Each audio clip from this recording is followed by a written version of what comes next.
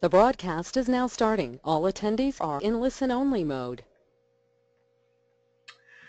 Uh, hello everyone. Um, this is a recorded version uh, of the webinar. Um, we had some difficulties uh, in that uh, it seemed my screen had frozen and, uh, and it wasn't being broadcast, so I do apologise for that. Um, anyone who didn't see the webinar previously, uh, my name is Mark, and for those who don't know me, I'm the Integration Manager at AIT, uh, and I've been working with Salto for almost six years now. Today's webinar is aimed at showing the new space software from Salto, and uh, to highlight some of the key features that are available in it. Whether you're new to Salto or you have an existing system utilising the old RW Pro Access software, I hope you'll find the next half an hour useful. So first and foremost, uh, I hope you can hear me and I hope also this time you can see my screen. Um, due to the number of people uh, in this webinar, uh, we'll be running the session in listen-only mode. And if you have any questions, uh, please note them down. Uh, as I say, this is a recording, so if you just want to email them in to us uh, after, this, after you've watched the presentation, um, then we'll, we'll answer them then. any questions are treated anonymously. alternatively, we can take individual in-depth discussions that may be needed offline. So I can skip through these bits. Okay, so today's webinar, uh, there's quite a lot that I'll be covering, um, but to make things as simple as possible, I'll be breaking it down to the following areas.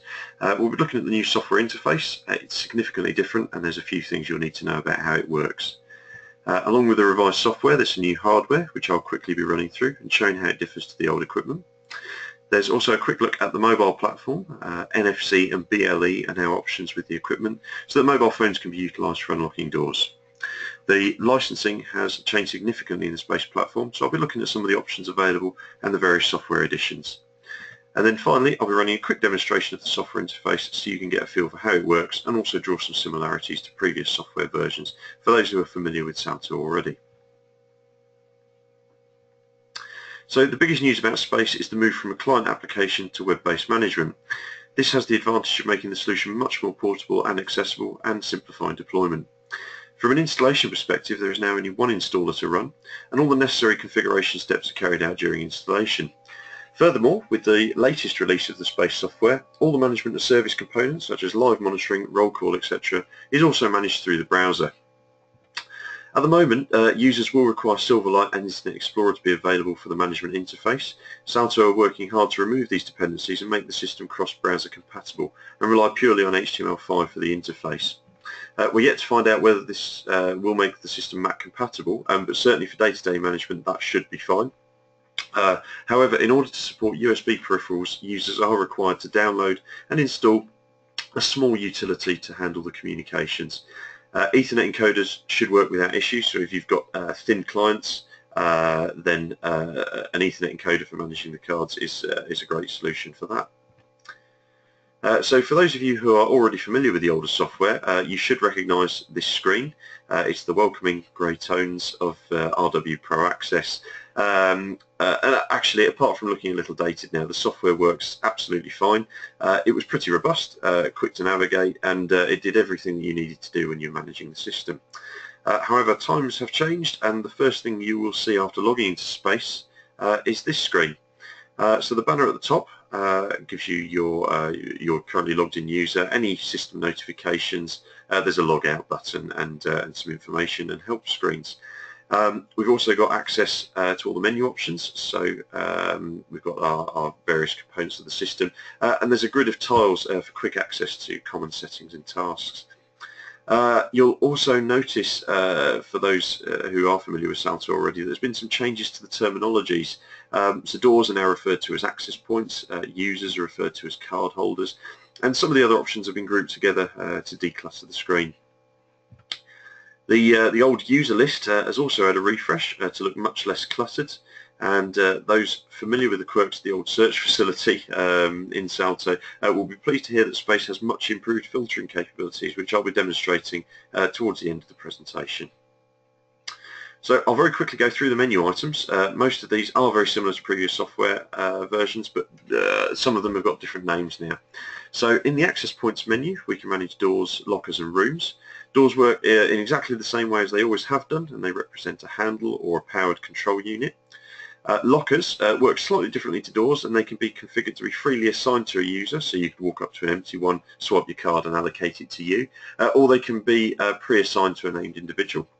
Uh, rooms uh, is used in a hotel environment and they differ slightly to doors though fundamentally they are the same thing um, but they can be easily assigned to a user on a temporary basis. Zones are still groups of doors which typically have similar access rights such as meeting rooms, comms rooms. Um, often people will treat zones as physical areas but sometimes it pays to zone the doors logically. Um, so you might have say staff doors, student doors, uh, IT suite doors, things like that. Um, We've then got locations. Uh, so locations are used to group large numbers of doors and zones together. Uh, for example, uh, a company maybe with offices spread across the country might have a location configured for each of its buildings in different cities. And then functions uh, is a feature which allows the grouping of doors across different locations. So for example, you might uh, want to group all of the front doors or main entrances together um, at, at different sites in order to grant users uh, who have got different base offices to all be able to get access uh, to the front doors at uh, different buildings. Um, other settings, uh, the same as they always have been, so we've got outputs for controlling additional relays, uh, for example with a timer or a lift. Uh, we've got lockdown for quickly securing areas, um, limited occupancy, um, which is useful in car parks and places like that. And then roll call for getting a list of users uh, within an area. And finally, we can configure uh, the scheduling uh, of locks and outputs like we always have been able to do. Moving into the cardholders menu, uh, these are split into three categories. So we've got users, visitors and guests. Uh, so users are the same as they've always been. Uh, they're your staff, your students uh, or your tenants.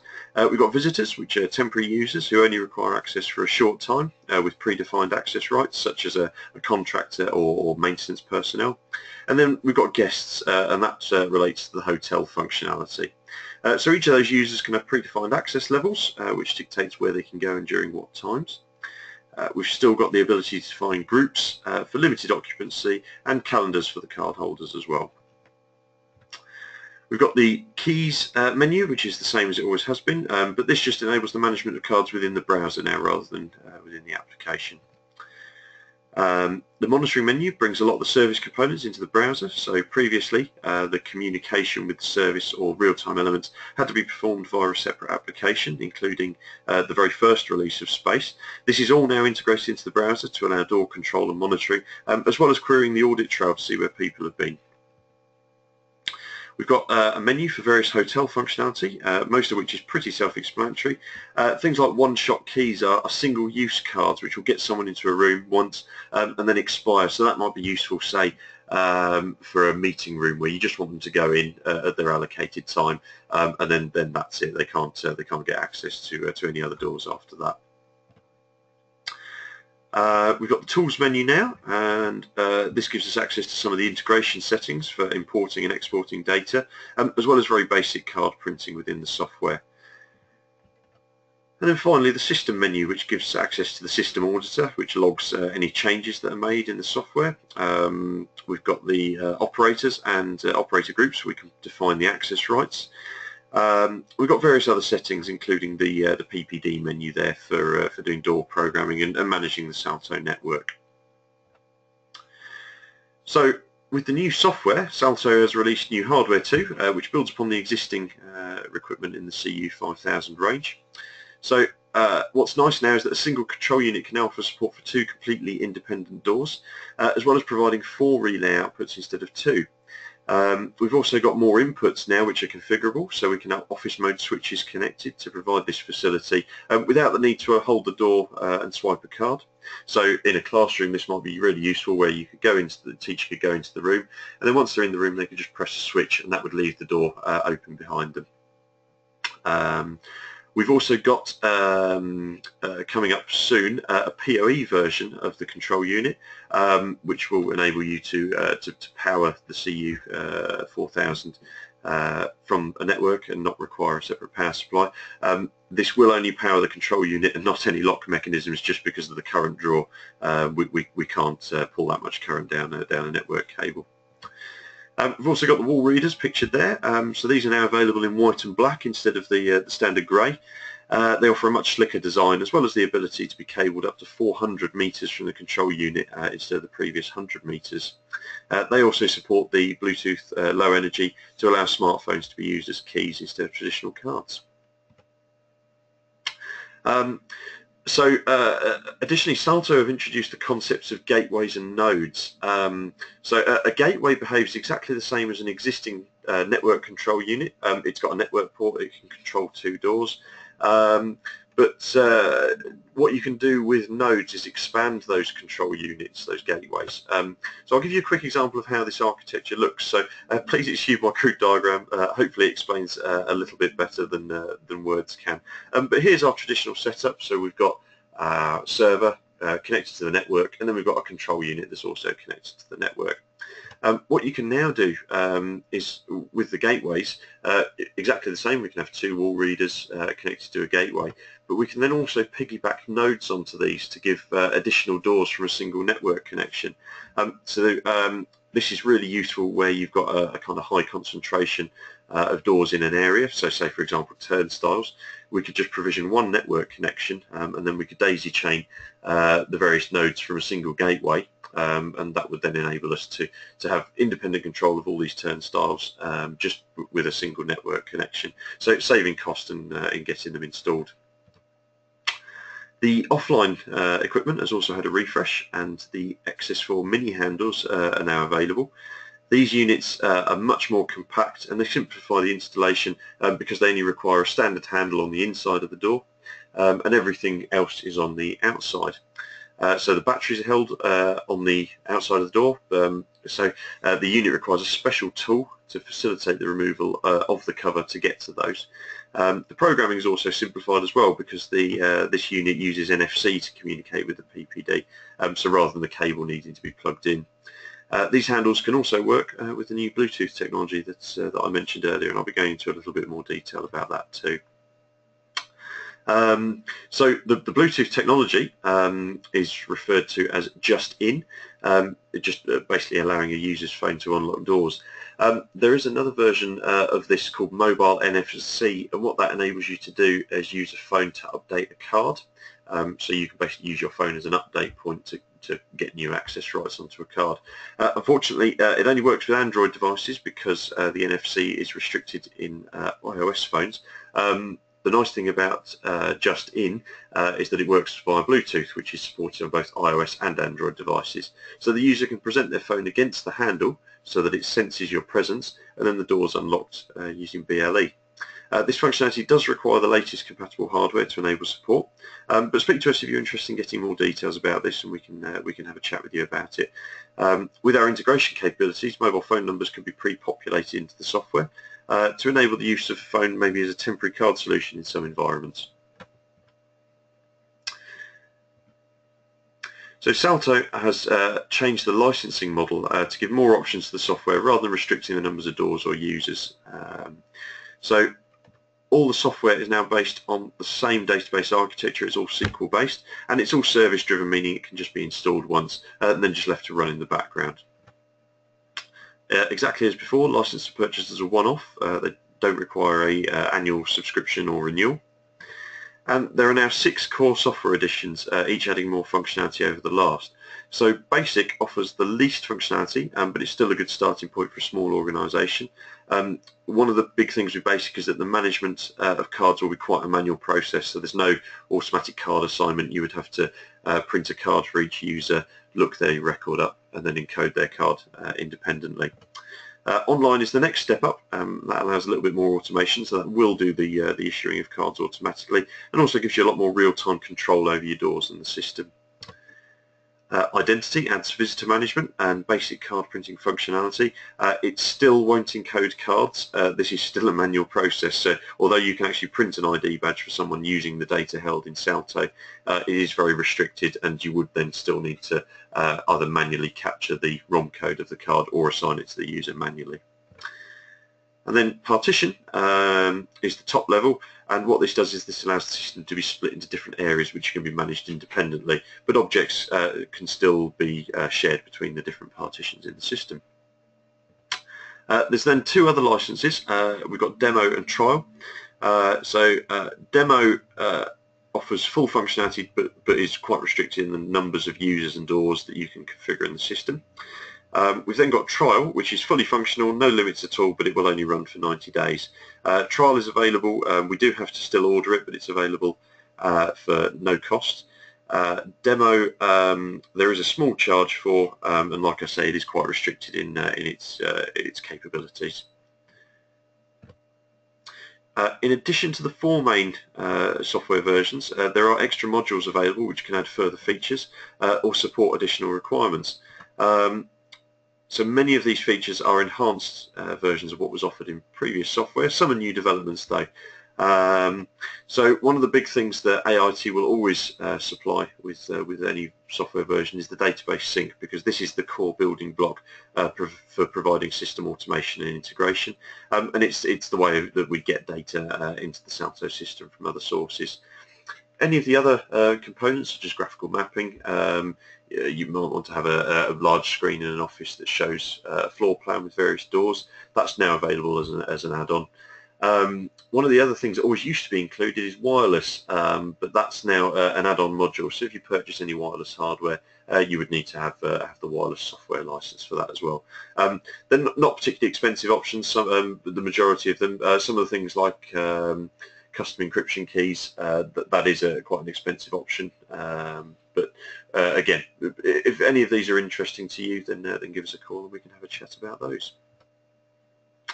Uh, so here's just a, a quick uh, grid showing all the functionality available. Uh, as you can see, there are quite a lot of options. Um, we're happy to guide you through making the best choice to fit your needs and your organisation.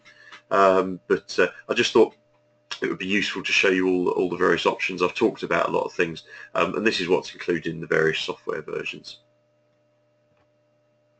Um, so I'm now going to pull up a live copy of the software running on my laptop so you can just see how it looks. Um, so this is running in Internet Explorer. Um, this is the login screen that we've got here so I'm just going to log in with no password for now. And we've got our grid in the middle here for managing our various bits and pieces. So what I'll do is I'm going to create an access level here um, we'll call it um, webinar access level. I'll give it a quick ID. And then what I can do from here is I can choose the elements that belong to this uh, this access level. So, say for example, we can add um, our test door. I could then add uh, a zone, so we'll add the webinar zone into the webinar access level. I can choose which users belong to this access level here as well. So I'll put myself in here and then save that. Uh, and it's actually I, I, was a bit skeptical about moving from a, a thick client application to, uh, to, to being web based, but actually it is really snappy. And although this is just running on my laptop, it's perfectly usable um, when you get it onto a, a, much quicker server with a much you know much more uh, oomph behind it for uh, for managing the database. Then it does it does fly along quite nicely. Um, I'll just show you uh, the users list here for card holders. So uh, again, this all the screens look look the same. Um, they've got very similar uh, functionality. Um, we've got some filtering here, so this replaces the old search uh, functionality, and it's all based around wildcards. So I can just type an E, and it will just pull up people's names that contain an E in it. Jump into my user record and we can see I've got all my personal details up here. Got the buttons for assigning keys and bits and pieces. Uh, got the mobile phone data here so if we were using the JustIN in order to unlock doors I put the phone number in uh, and it would then send a text message asking the user to activate uh, their software and verify who they are. And then again just down the right hand side here we've got all the various options that we can configure for this user if I click on the admin menu up here, I've got my settings. I can change my password if I like. Um, and then I've got all the settings for um, the encoder and bits and pieces. Um, what we're now sort of tending to go towards is, is supplying uh, networked uh, encoders. Um, purely because they can be shared by multiple users who have got the um, uh, who have got the web-based software. Um, so rather than sharing a USB device, you can just have one network device, um, and uh, and then it can be used by by multiple people. Um, so, so yeah, just uh, really just to, to, sort of give you a, a, very quick overview of the software. Um, it, it's quite intuitive. Um, if you're already familiar with the software, uh, uh, it, it's actually once you get your head around the ter new terminologies and just finding out where where various options are, uh, it, it's actually really really quite nice to navigate. Um, I do quite like it, I must admit. Um, so uh, that's all from me. Um, obviously, because this is a recorded version, uh, we're not going to have any questions. Um, just a couple of things that, uh, that, that we have been asked about um, away from webinars. Um, so uh, about upgrading space uh, from previous uh, software versions. So yes, uh, that is possible. Um, there's no charge for the new software. Um, there might just be a small cost for any additional modules to get the same functionality as you've got in your current version, um, and then just a charge for the time in actually dealing with the upgrade. But other than that, the software uh, you've already paid for, so you're entitled to uh, to upgrade to space. Um, we've also been asked in the past about uh, upgrading uh, old handles to support uh, the JustIN Bluetooth technology. Um, unfortunately, that's not possible as uh, that the handles require replacing because the components for Bluetooth uh, communication, they're all built in and it's, it's not just a kind of an add-on aerial or anything like that that we need to put in. Um, we, have also uh, had a, a, a, panicked phone call in the, in the past about whether uh, the old CU5000 uh, hardware and original lock sets are still available. Uh, yes, they are. no problem supplying those to match any existing hardware that you've got. Um, so uh, thank you very much if you've sat through uh, this this recording. Um, I do apologise for for the problems with screen sharing. Um, uh, on the actual uh, date of the webinar. Um, if you've got any other questions though and you want to uh, just drop us um, an email uh, or, or, get in touch with us then uh, the details are on the screen now. Um, but uh, if you're watching this on Friday um, then I hope you have a great long weekend um, and if you're watching it after the bank holiday then I hope you had a nice long weekend. Um, thanks very much. my name is Mark Phelan but if you've got any questions just just get in touch with us and uh, we'll, uh, we'll do our best to answer it. Thank you very much.